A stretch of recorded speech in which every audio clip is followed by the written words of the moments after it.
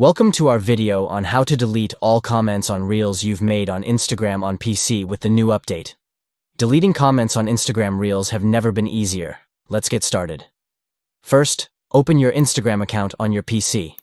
At the bottom left corner, click on the More icon or the three dots. Next, click on Your Activity. This will take you to your Interactions section where you can see all the Reels you have commented on. From the Comments section, you can select the Reels you have commented on. Click on Select to choose all the comments you want to delete. After selecting the comments, tap on Delete. A confirmation step will appear confirming if you want to delete the selected comments. Tap Yes to proceed with the deletion process. And there you have it. You have successfully deleted all the comments you've made on Reels on Instagram through your PC. This new update makes it easier for you to manage your interactions on Instagram.